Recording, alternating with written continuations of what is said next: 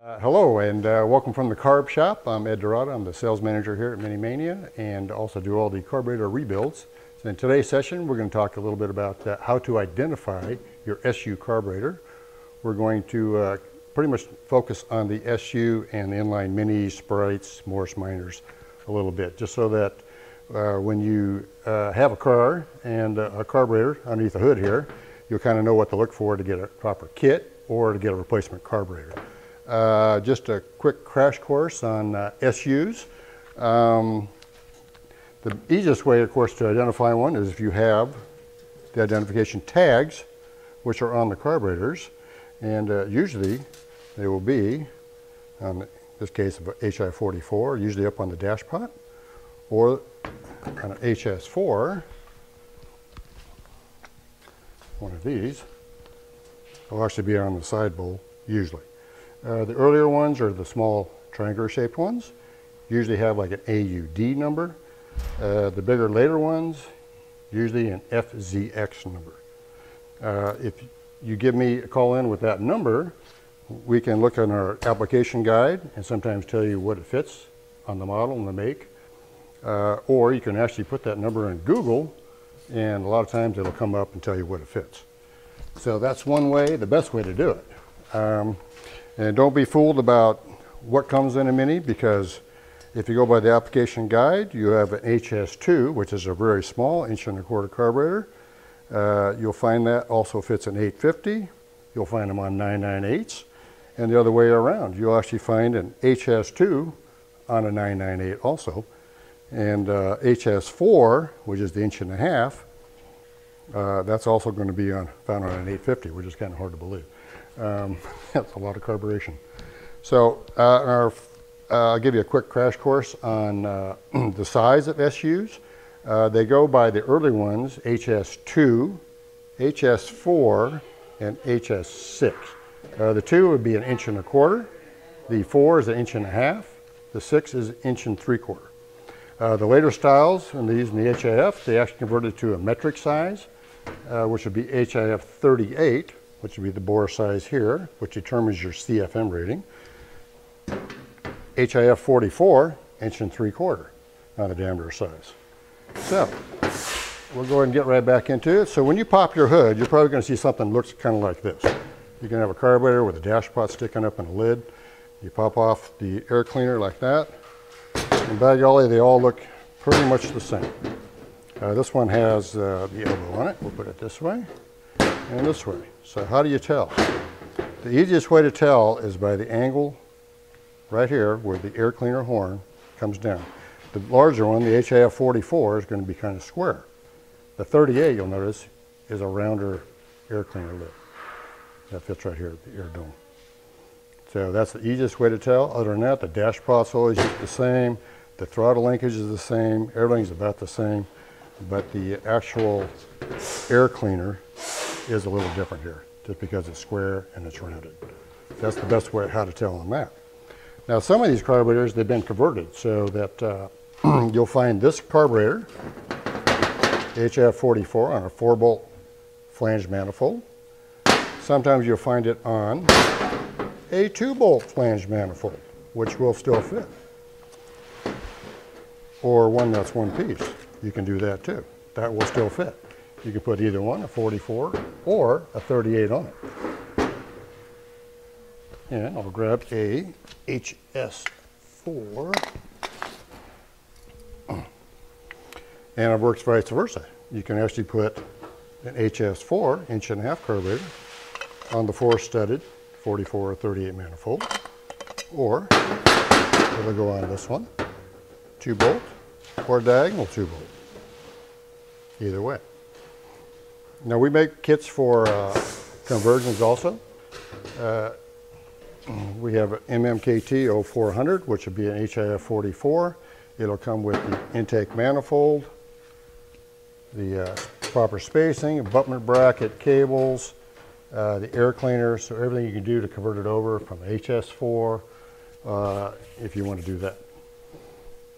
Um, I think that's about all we have to cover on this model of the 44s and 38s. Uh, also on the uh, carburation here, what the uh, HS and the HIF, the difference uh, being the two, the HS series has a sidebowl float on it, which has the fuel line coming over to the jet tube. Uh, the HIF series has an internal float. That's all built inside here. Much superior carburetor. Uh, internal components also has rubber seals on the throttle shaft so they don't leak air like these to do.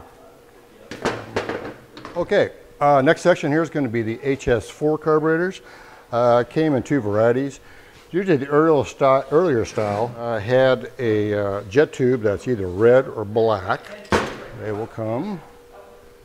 Usually in the kit is red. Or the black. Same size. They're both 90 thousandths uh, jet tube diameter. So either one will work. So that'll be fine. Uh, now to identify it on the car, when you look at it here, which one it is, between HS4 and a smaller HS2, which I knew the red one is. Obviously the dome size is different of the damper because HS4 is larger, but the main thing you look for is the screws. This one has two mounting screws on the top. HS4 has three mounting screws. So that'll kind of eliminate it right there. HS4, HS2. The other thing you want to look for is the early and late style. The early style, like I said, had the uh, uh, red fixed uh, jet tube st standard in it. And usually the, the needles inside are a fixed needle as opposed to a swing needle, which is a spring mounted one. The later ones on the minis, which is about 70s and later, use what they call a wax stat.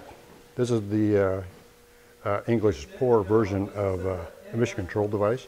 What happens is a wax, pellet, a wax pellet inside of the uh, wax stat here that raises and lowers the jet tube as the temperature raises and lowers.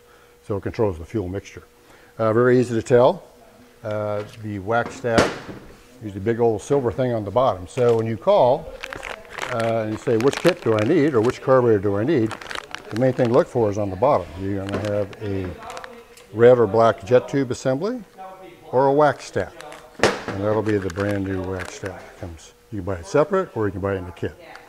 Uh, now there's a couple of different conversions that I like to do. I take the later model wax stat uh, style and I convert it to the earlier style, which a lot of people like because it's a little more consistent. It doesn't float up and down and give you variances like these do. So with this kit here, uh, this one's got an arm on it, which actually goes through um, this part of the uh, jet tube down here. Uh, well, this one right here, actually. And we'll fix up to the linkage here. The other one actually has, a, actually like better, this one right over here. They have this little bracket. I'll just take it all out here. that you put on with a screw right through there, and that will support the little ball and arm that comes off the wax stat. So you're going to replace this whole thing, but you're going to use the same arm and coupling that you use on this linkage here. Very clever. That's a LZX 1111A. So you can convert that over from a wax stat style. And it's actually a little cheaper too. Uh, I think that's all we need to do on covering the how to identify on the HS4 versions. And of course, once again, you'll see a combination of manifolds out there. You could have a four bolt, you could have a four bolt with just two studs, you could have a diagonal and uh, one piece manifold with exhaust attached, or it could be a separate with a separate exhaust uh, header on there, or you could have headers on it. So any combination will probably work as long as you get the bolt pattern the same. Okay, uh, so here we are back again. Uh, this time we're going to cover the HS2 singles and dual carburetors here. Uh, basically how to identify those and the difference between the singles and duals. Um, on the HS2, the inch and a quarter, you'll notice that the mounting flange for the manifold is straight up and down, as opposed to the HS4s, which are diagonal. That's the one thing. And of course, we talked about the screws. Only two screws as opposed to the three mounting screws that come on those. Uh, also, the uh, you notice the float bowl on a single is on the opposite side on HS2. So looking from the back, these will all be on the left side. HS4, they're all on the right side. Okay. Uh, now, as far as the duals for the uh, minis and the inline sprites or Morris Minors, uh, the main difference you have on these things to look for is the thickness of the spacer plates. You'll notice here it's a thinner setup than it is on the Sprite. The Sprite uses like a big old fat one inch spacer on theirs in the back. Uh, the other minor differences are the linkages. The Mini uses a narrower linkage in between as opposed to a wider one on the Sprites. And also uh, the float bowls, uh, they're mounted usually in most cases with these rubber grommets that go inside the float bowls here and they're notch different to 20 degrees or 30 degrees. The minis actually use the 30 degree because you want to get the angle of the bowl when it's mounted on the engine so it's pretty much level. It's only 10 degrees, it's not going to matter a whole lot much on that, but you kind of like to have that right. Where the Sprite sits at a little different angle, so they sit at 20 degrees. Um, other than that, about uh, they're really about the same. You can interchange. You can use this carburetor on that and that carburetor on here. So it's just a matter of linkage and spacers. Um, I think that pretty much covers it. Um, of course, here's an old antique one here. Uh, you see, comes with a, looks like it's a one piece. That's actually the two piece manifold. It's got a bolt on it. Uh, it has, a, actually, is a really early style. This is an H carburetor here. You can tell by the bolt. It's got a single bolt on it and the cobwebs that go in there. so can be rebuilt, but we don't like to. You can actually convert this style over, the H style, to a more modern uh, HS2 style. Uh, everything else about the same. The linkage would be a little different, but it can be, it can be converted over. So I think that's about it for uh, the carb shop. Uh, hopefully that'll help you identify your SU carburetors from HS38, 44, the HS4s, HS2s, the singles and the duals. Uh, if you have any questions, you always give us a call at the toll-free number 800-946-2642. Uh, give me a call anytime. I can help you out. And you can look on the website for any carburetor kits that you need, or if you need a replacement carburetors, we try to keep them all in stock. Uh, thank you for your time. Until the next time in our next session, uh, so long.